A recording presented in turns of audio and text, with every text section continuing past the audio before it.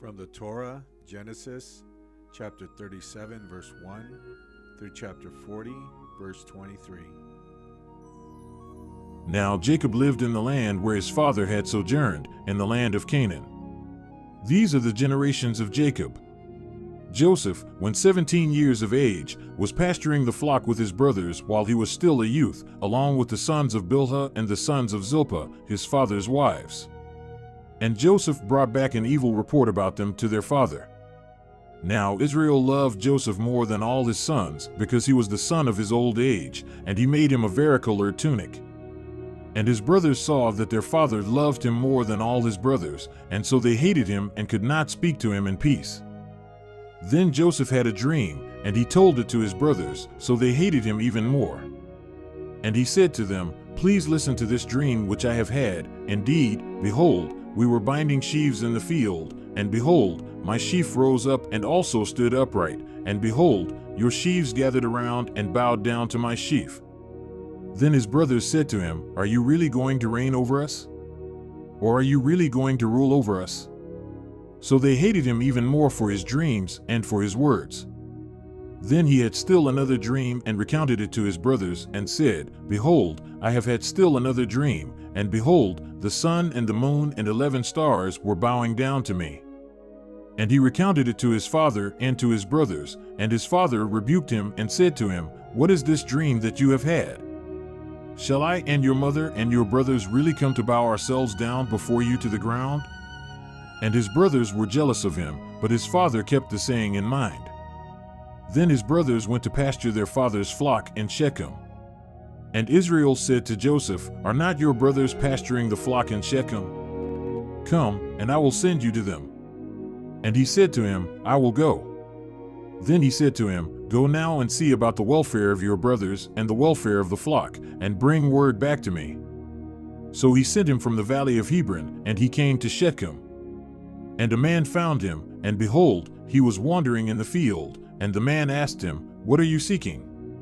And he said, I am seeking my brothers. Please tell me where they are pasturing the flock. Then the man said, They have journeyed from here, for I heard them saying, Let us go to Dothan. So Joseph went after his brothers and found them at Dothan. And they saw him from a distance, and before he came close to them, they plotted against him to put him to death. Then they said to one another, Here comes this dreamer. So now, come and let us kill him and cast him into one of the pits, and we will say, A wild beast devoured him. Then let us see what will become of his dreams.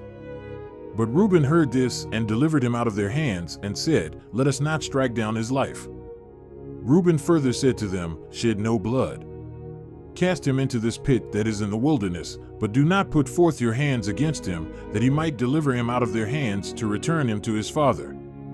Now it happened, when Joseph reached his brothers, that they stripped Joseph of his tunic, the varicolored tunic that was on him, and they took him and cast him into the pit. Now the pit was empty, without any water in it. And they sat down to eat a meal. Then they lifted up their eyes and saw, and behold, a caravan of Ishmaelites was coming from Gilead, with their camels bearing aromatic gum and balm and myrrh, going to bring them down to Egypt.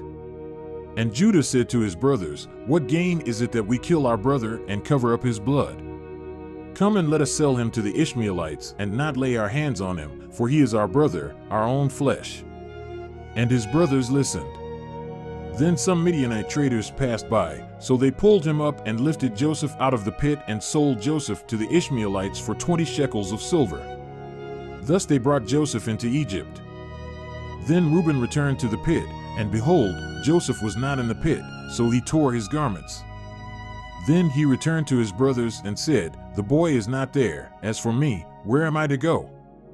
So they took Joseph's tunic and slaughtered a male goat and dipped the tunic in the blood. And they sent the varicolored tunic and brought it to their father and said, We found this. Please recognize it, whether it is your son's tunic or not. And he recognized it and said, It is my son's tunic. A wild beast has devoured him. Joseph has surely been torn to pieces. So Jacob tore his clothes and put sackcloth on his loins and mourned for his son many days. Then all his sons and all his daughters arose to comfort him, but he refused to be comforted. And he said, Surely I will go down to Sheol in mourning for my son. So his father wept for him. Meanwhile, the Midianites sold him in Egypt to Potiphar, Pharaoh's officer, the captain of the bodyguard.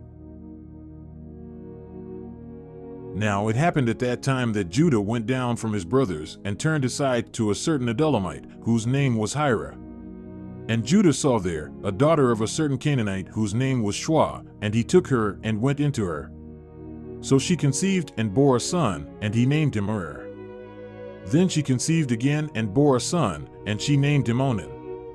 And she bore still another son, and she named him Shelah, and it was at Chezib that she bore him. Then Judah took a wife for Ur his firstborn, and her name was Tamar. But Ur, Judah's firstborn, was evil in the sight of Yahweh, so Yahweh put him to death.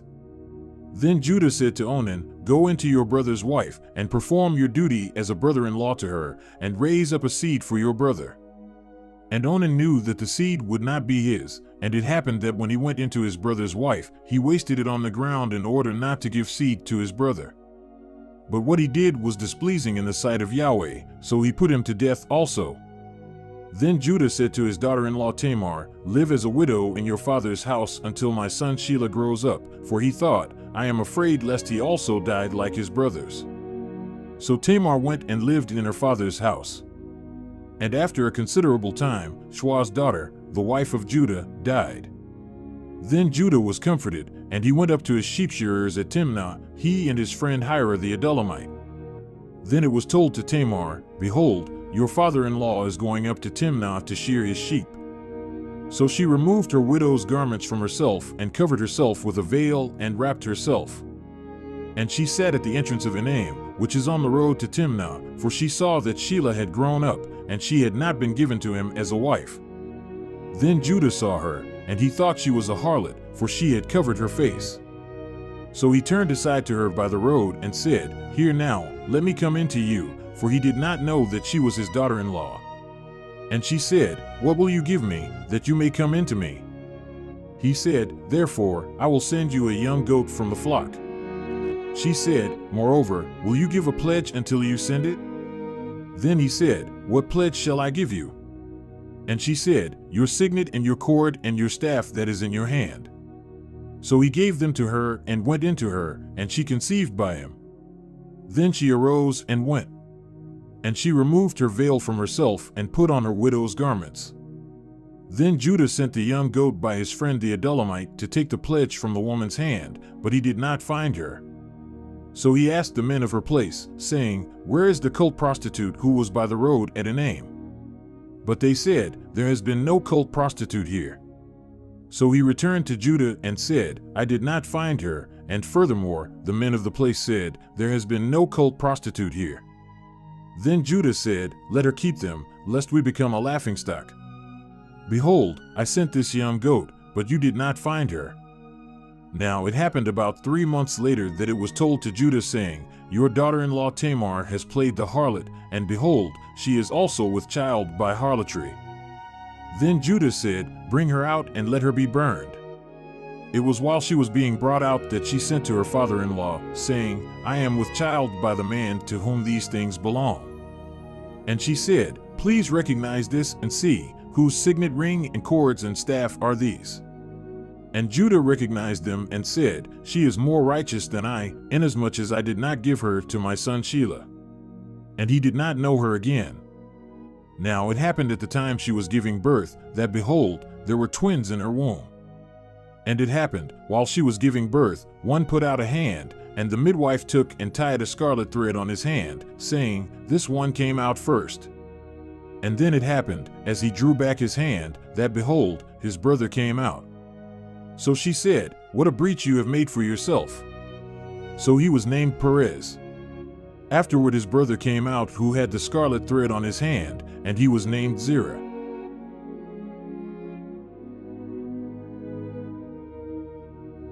Now Joseph was brought down to Egypt, and Potiphar, an Egyptian official of Pharaoh, the captain of the bodyguard, bought him from the Ishmaelites, who had brought him down there. And Yahweh was with Joseph, so he became a successful man. And he was in the house of his master, the Egyptian. Now his master saw that Yahweh was with him and how Yahweh caused all that he did to succeed in his hand. So Joseph found favor in his sight and attended on him, and he appointed him overseer over his house, and all that he owned he gave in his hand. Now it happened that from the time he appointed him overseer in his house and over all that he owned, Yahweh blessed the Egyptian's house on account of Joseph. Thus the blessing of Yahweh was upon all that he owned, in the house and in the field. So he left everything he owned in Joseph's hand, and with him there, he did not concern himself with anything except the food which he ate. Now Joseph was beautiful in form and beautiful in appearance. And it happened after these events that his master's wife set her eyes on Joseph and said, Lie with me. But he refused and said to his master's wife, Behold, with me here, my master does not concern himself with anything in the house, and he has given all that he owns into my hand. There is no one greater in this house than I, and he has withheld nothing from me except you, because you are his wife. How then could I do this great evil and sin against God? So it happened that as she spoke to Joseph day after day, he did not listen to her to lie beside her or be with her.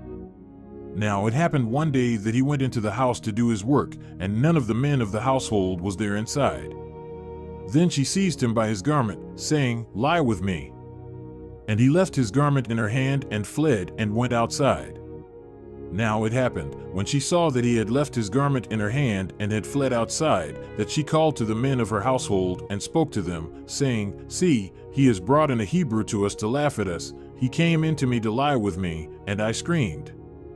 Now it happened that when he heard that I raised my voice and screamed, he left his garment beside me and fled and went outside.